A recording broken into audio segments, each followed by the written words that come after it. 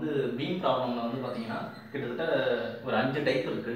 ஆனால் நம்மளுக்கு சிலபஸ் படி பார்த்தா ரெண்டு டைப் பார்த்தா போதும். Cantilever beam simply supported beam இந்த ரெண்டு பீம் பார்த்தா போதும். இப்போ வந்து நம்ம பார்க்க போகிறது கேண்டிலிவர் பீம் அதில் வந்து ரெண்டு இது வரைய சொல்லுவாங்க. ஒன்று shear force diagram SFD bending moment diagram BMD இது ரெண்டும் தான் வரைய சொல்லுவாங்க. அப்போ சியர் ஃபோர்ஸ் டயக்ராம் வரைகிறதுக்கு சியர் ஃபோர்ஸ் கேல்குலேஷன் போடணும். சரிங்களா? அதுக்கு முன்னாடி அவங்க கொடுத்துருக்க சென்டென்ஸில் பீம் எப்படி இருக்கும்? அதில் என்னென்ன ஃபோர்ஸ் ஆக்ட் ஆகுது? எந்த இடத்துல ஆக்ட் ஆகுதுங்கிறத அதை பார்த்து வரைய போகிறோம் இப்போ வந்து பார்த்தீங்கன்னா கேண்டிலிவர் பீம்னு சொல்லிட்டாங்க. கேண்டிலிவர் பீம் எப்படி இருக்கும்னா ஒரு சைடு ஃபிக்ஸட் ஆகும். இன்னொரு சைடு வந்து பார்த்தீங்கன்னா ஃப்ரீயாகவும் இருக்கும். இதான் கேண்டிலிவர் பீம் அதோட லென்த் எவ்வளோ சொல்லியிருக்காங்க அப்படின்னா ஃபோர் மீட்டர் அதை வந்து நோட் பண்ணுறோம் இது வந்து அளவுக்காகலாம் கிடையாது. சும்மா குத்துமதிப்பாக தான் நம்ம வரையணும். ஃபோர் மீட்டர் கேண்டிலிவர் பீம் அதோட லென்த் வந்து ஃபோர் மீட்டர் வரைஞ்சாச்சு.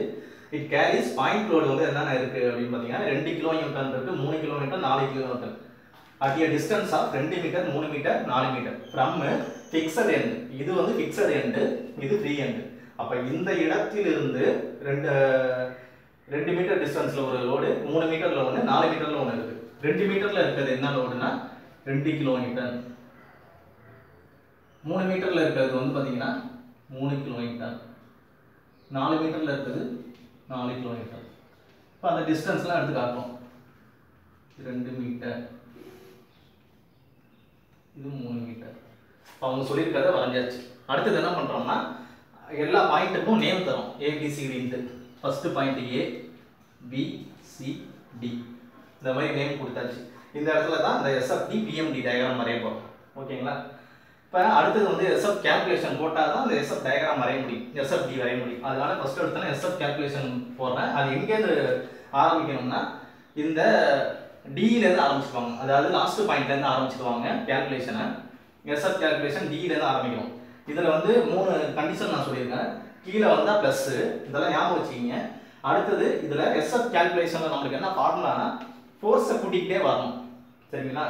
டயக்ராம் வரைகிறப்ப வெறும் ஃபோர்ஸ் மட்டும் இருந்துச்சுன்னா அதாவது பாயிண்ட் லோடு மட்டும் இருந்துச்சுன்னா ஸ்டெப்பாக வரையணும். சரிங்களா? படிக்கட்டு மாதிரி வரையணும் அப்படிங்கிறத மட்டும் ஞாபகம் வச்சுக்கிங்க. இப்போ எஸ்எஃப் கேல்குலேஷனில் ஃபஸ்ட்டு நம்ம டிங்கிற பாயிண்ட்காக பார்க்குறேன். டியில் வந்து நம்மளுக்கு இது ப்ளஸ்ஸாக மைனஸான கீழே வருது. அப்போ இந்த நாலுங்கிறது ப்ளஸ்ஸு ரைட்டா அவ்வளோதான் ஆன்சர் போட்டாச்சு. அடுத்தது என்ன பாயிண்ட் இருக்குது சிங்கிறது இருக்குது நம்ம ஆல்ரெடி உள்ளதையும் கூட்டிகிட்டே வரணும். ஏன்னா சம்மேஷன் ஆஃப் ஃபோர்ஸுங்கிறது தான் ஃபார்முலா அப்போ ஆல்ரெடி உள்ளது நாலு. சியில் என்ன ஃபோர்ஸ் ஆக்ட் ஆகுது? ப்ளஸ் த்ரீ கீழே வருதுல்ல? அப்போ ப்ளஸ் த்ரீ அடுத்தது பிங்கிற பாயிண்ட் தான் பார்க்குறேன். நம்ம ஆல்ரெடி கண்டுபிடிச்சது ஏழு. சரிங்களா? பிங்கிற பாயிண்ட்ல நம்மளுக்கு கீழே வருதா? அப்போ ப்ளஸ் டூங்கிறது ஆக்ட் ஆகுது. அடுத்தது எஸ்எஃப்ஏ ஆல்ரெடி உள்ளது நயனு ஏல ஏதாவது லோட் இருக்கா பாருங்க. எதுவுமே இல்லை. சரிங்களா? அப்போ வந்து பார்த்தீங்கன்னா நம்ம எஸ்எஃப்ஏல நயன்கிறது கண்டுபிடிச்சிருக்கோம். இப்போ இதுக்கான டயக்ராம் வரையும் லைட்டாக லைன் வரைஞ்சிக்கிங்க. ஏன்னா இதில் தான் டயக்ராம் வரைய போகிறேன் இந்த மேலே வரைகிறேன் நேம் வந்து இங்கே ஏபிசின்னு கொடுத்துக்குங்க. இப்போ டியில் எவ்வளோ கண்டுபிடிச்சிருக்கோம் பாருங்கள் ஃபோருங்கிறது சும்மா ஒரு குத்து மதிப்பாக நாலுங்கிறத நோட் பண்ணியிருக்கேன். சியில் எவ்வளோ கண்டுபிடிச்சிருக்கோம்? அப்படின்னா ஏழு. அடுத்தது பியில்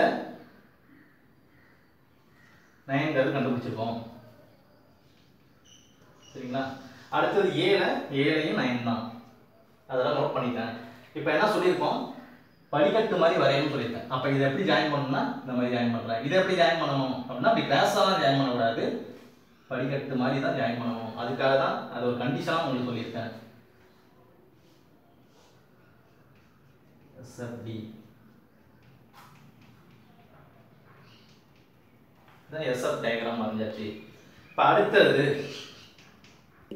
இப்போ அடுத்தது வந்து பார்த்தீங்கன்னா பிஎம் கேல்குலேஷன் பார்க்குறோம். பிஎம் கேல்குலேஷனில் அதே மாதிரி தான் கீழே வந்தால் மைனஸு அதில் ப்ளஸ்னா அதில் மைனஸு அடுத்தது நம்மளுக்கு ஃபார்முலா அதில் வெறும் ஃபோர்ஸை மட்டும் கூட்டணும். இதில் ஃபோர்ஸ் இன்ட்டு டிஸ்டன்ஸுங்கிறத கூட்ட போகிறோம் இதில் எப்படி வரையணும்னா கிராஸாக வரையணும். அதில் படிக்கட்டு மாதிரி வரணும் அதில் கிராஸாக வரையணும் இதுதான் அதுக்கும் இதுக்கும் உள்ள கேல்குலேஷனு அடுத்தது பெண்டிங் மூமெண்ட்டு நம்ம டிங்கிற பாயிண்ட்டுக்காக பார்க்குறேன் இப்போ டிங்கிற பாயிண்ட்டுக்காக பார்க்குறப்ப டியில் பெண்டிங் மூமெண்ட்டு எவ்வளோ அப்படிங்கிறத கேல்குலேட் பண்ண போகிறோம் டியில் வந்து பார்த்தீங்கன்னா ஃபோர்ஸ் எவ்வளோ அப்படின்னு பார்க்குறேன். கீழே வருதா? அப்போ மைனஸ் நாலு.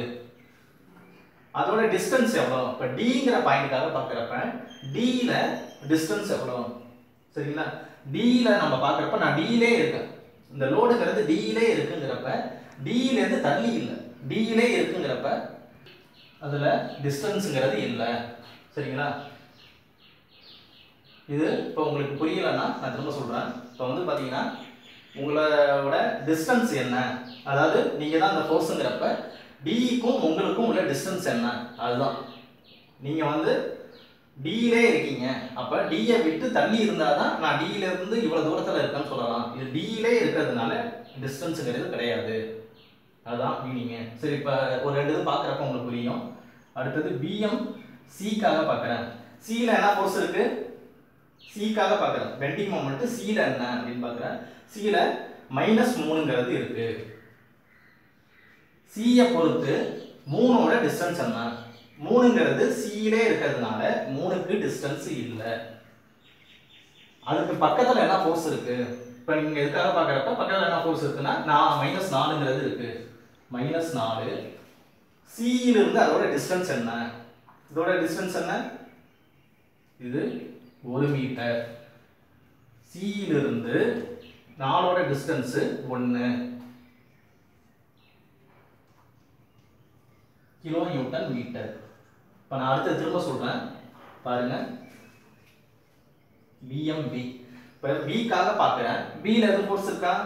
பியில் வந்து மைனஸ் ரெண்டுங்கிறது இருக்குது பிக்காக பார்க்குறப்ப ரெண்டோட டிஸ்டன்ஸ் என்ன இது பியிலே இருக்கா? அதுக்கு டிஸ்டன்ஸு கிடையாது. சரி அடுத்த ஃபோர்ஸ் என்ன இருக்கு? மைனஸ் மூணு. இந்த இடத்துல இருந்து பியிலிருந்து மூணுக்குள்ள டிஸ்டன்ஸ் என்ன? ஒன்று அடுத்த ஃபோர்ஸ் என்ன இருக்கு? மைனஸ் நாலு. பியிலிருந்து அதோட டிஸ்டன்ஸ் என்ன? ரெண்டு. இது ஜீரோ இது மைனஸ் மூணு இது மைனஸ் எட்டு. அப்போ மைனஸ் பதினொன்று கிலோ மீட்டர் அடுத்தது பிஎம் ஏக்காக பார்க்குறேன் ஏல எதுவும் ஃபோர்ஸ் இருக்கா? எதுவுமே இல்லை. அதனால ஜீரோ அடுத்தது என்ன ஃபோர்ஸ் இருக்கு? அப்படின்னு பார்க்குறேன். மைனஸ் ரெண்டு இருக்கு. ஏயிலிருந்து ரெண்டோட டிஸ்டன்ஸ் என்ன? அடுத்த ஃபோர்ஸ் என்ன இருக்கு? அப்படின்னு பார்க்குறேன். மைனஸ் மூணு. அதோட டிஸ்டன்ஸ் ஏயிலிருந்து மூணு. அடுத்த ஃபோர்ஸ் என்ன இருக்கு? மைனஸ் நாலு. அதோட ஏயிலிருந்து டிஸ்டன்ஸ் என்ன? இது ஜீரோ மைனஸ் நாலு மைனஸ் ஒம்பது மைனஸ் பதினாலு இருபத்தஞ்சு மைனஸ் இருபத்தொம்போது கிலோ நியூட்டன் மீட்டர். இப்போ என்னென்னா இதுக்கான டயக்ராம் வரைய போகிறேன் இப்போ நாலுக்குமே கண்டுபிடிச்சாச்சு. இப்போ எல்லாமே வந்து மைனஸில் வருதுல்ல கிராஃபில் வந்து மைனஸில் வந்துச்சுன்னா இங்கே கீழே வரையணும். ரைட்டா அப்போ கீழே வரைய போகிறேன் ரெஃபரன்ஸ் லைன் மேலே வரைஞ்சிட்டேன் இந்த லைன்லேருந்து கீழே வரைய போகிறேன் டியில் எவ்வளோ கண்டுபிடிச்சோம்? ஜீரோ. சியில் எவ்வளோ கண்டுபிடிச்சிருக்கோம். நாலு மைனஸ் நாலு தான். ஆனால் கீழே நோட் பண்ணுறதுனால நாலு நோட் பண்ணால் போதும். பியில் எவ்வளோ கண்டுபிடிச்சிருக்கோம். பதினொன்று அடுத்தது இருபத்தொம்போது. நான் என்ன சொல்லியிருக்கேன்? எப்படி வரையணும் அப்படின்னா கிராஸாக வரையணும்னு சொல்லியிருக்கேன். இதை எப்படி ஜாயின் பண்ணலாம்னா கிராஸாக ஜாயின் பண்ணுறேன் இதுதான் பெட்டி மொமெண்ட் டயக்ராம் இப்போ எஸ்எஃப்டி டயக்ராமும் வரைஞ்சாச்சு பெண்டிங் மொமெண்ட் டயக்ராமும் வரைஞ்சாச்சு. இதை திரும்ப திரும்ப கொஞ்சம் ப்ராக்டிஸ் பண்ணி பாருங்கள் அப்போ தான் வரும் ஓகே தேங்க்யூ